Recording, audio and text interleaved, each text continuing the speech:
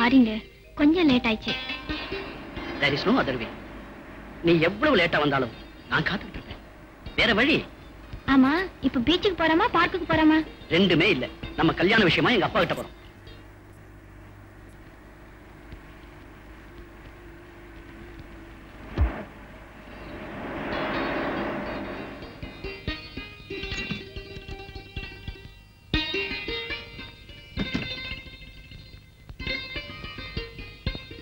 ஏன் அங்கேயே நின்னுட்டீங்க? வாங்க உள்ள. நீ உட்காருமா? உட்கார் வசந்தி.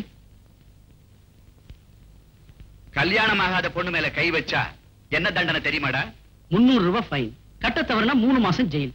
அதனால உங்க கல்யாணம் ஆகிற வரைக்கும் எட்டவே இரு. அண்டர்ஸ்டாண்ட் வசந்தி உங்க அம்மா கிட்ட இருந்து லெட்டர் வந்திருக்குமா? மதிப்பிற்குரிய ஜட்ஜையா அவர்களுக்கு வசந்தியின் தாயார் வணக்கத்துடன் எழுதிக் கொள்வது. தாங்கள் என் மகளை மருமகளாக ஏற்றுக்கொள்வதற்கு சந்தோஷமாக என் சம்மதத்தை தெரிவித்துக் கொள்கிறேன். திருமண விஷயமாக தாங்கள் எடுக்கும் எல்லா முடிவுகளுக்கும் பூரண சம்மதத்தை இதன் மூலம் தெரிவித்துக் கொள்கிறேன். இப்ப என்னம்மா சொல்ற? நான் என்னமாமா சொல்ல போறேன்? எல்லாம் உங்க விருப்பம்.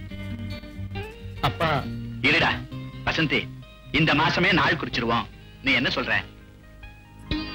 உங்க இஷ்டம் மாமா.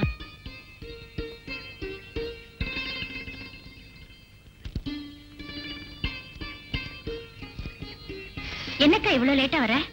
அவர் வீட்டுக்கு போயிருந்தேன். லேட் ஆயிடுச்சு கல்யாண விஷயமா என்னக்கா சொல்றாங்க? நம்மளை எதிர்பார்க்காமே எல்லா ஏற்பாடும் அவங்களே செஞ்சுட்டாங்க. ஆனா அம்மாவை பத்தி கேட்டப்பதான் என்னால எதுவும் சொல்ல முடியாம உண்மை ஆயிட்டேன் கவலைப்படாதேக்கா. எல்லாம் மனசுக்கு ஏத்தபடி நல்லபடியா நடக்கும். என்னடி இன்னும் பஸ்ஸையே காணோம்? நேரம் ஆயிடுச்சு பஸ் வந்துரும். சாந்தி காலேஜுக்கு போறியா? காலேஜுக்கு போகாம பின்ன கருவாடு விற்கவா போவாங்கன்னு நினைச்சேன். ஒண்ணும் இல்ல அம்பாளுக்கு அர்ச்சனை பண்ணினேன். பாஸ் ஆயிடுவேன்னு பூ போட்டான் இந்தா நீ வச்சுக்கோ. நான் வரட்டுமா? ஐயோ சரியான லூசுடி வரடா excuse me Shanti time please இவ்வளவு. சாரி நான் அவ்வளவு நினைச்சேன். டே ராஜா.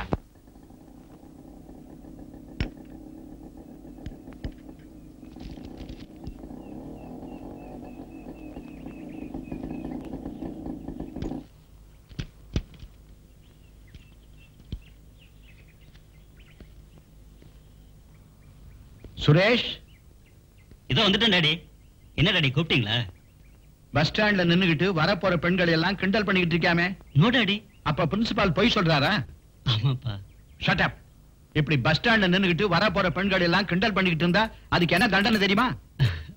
முந்நூறு ரூபா ஃபைன். கட்ட தவறுனா மூணு மாசம் ஜெயில். தெரியுது இல்ல இனிமேலாவது ஒழுங்காயிரு understand be careful yes daddy. You can go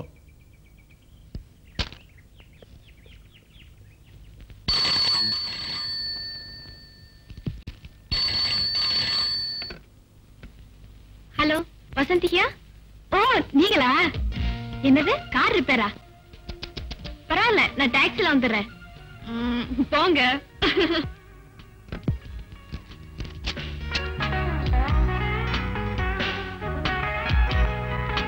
ஆமா சாமி. நீ என்ன காதலிக்கிற?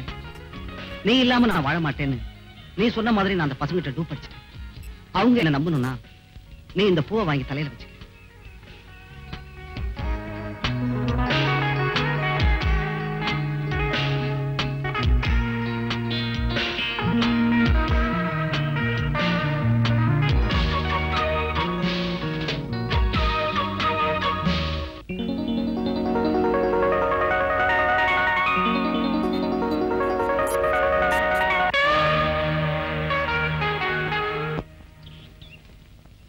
இந்தாங்க சார்? காதல் இதெல்லாம் ரொம்ப சகஜம். எதுக்கு இன்னொரு வாட்டி ட்ரை பண்ணி பாருங்க.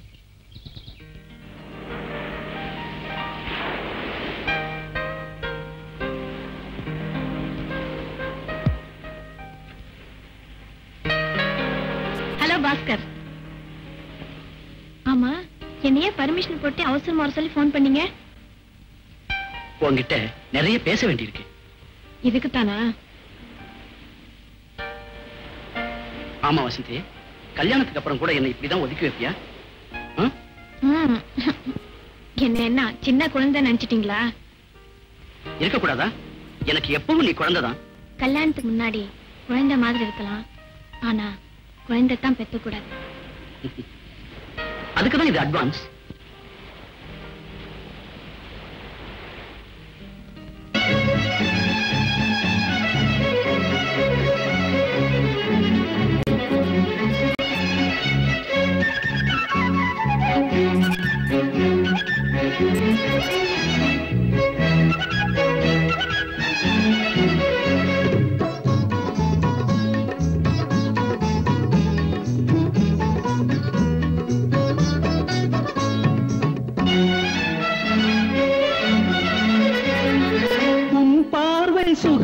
சுகமானது நெஞ்சில் அழியாத கதையானது.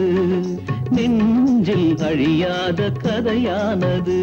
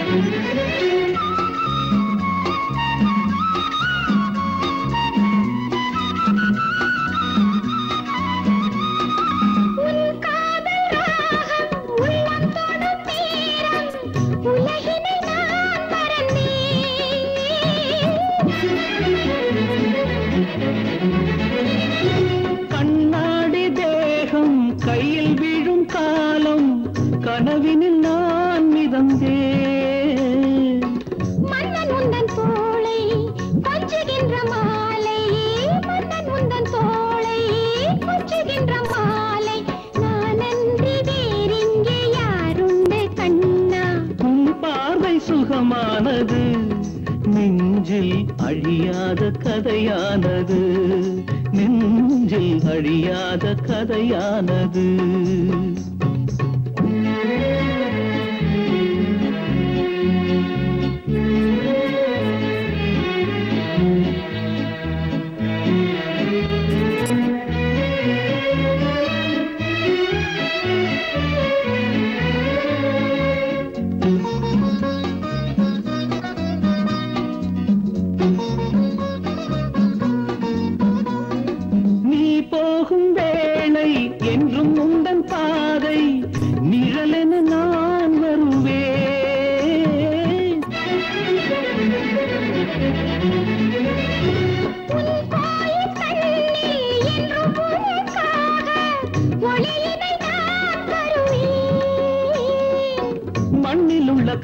காலம். இன்று முதல் நானும் மண்ணில் உள்ள காலம். இன்று முதல் நானும் உனக்காக கரைகின்ற நிலவாக இருப்பேன். சுகமானது நெஞ்சில் அழியாத கதையானது நெஞ்சில் அழியாத கதையானது. உன் பார்வை சுகமானது அழியாத கதையானது.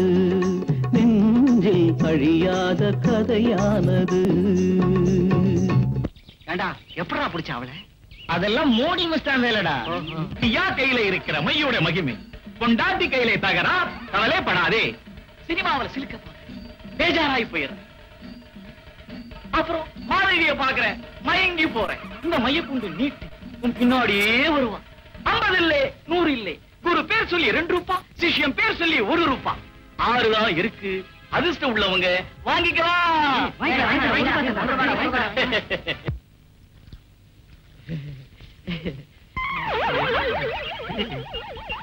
என் மேல இவ்வளவு அன்பு வச்சிருக்கேன்னு நான் இன்னைக்கு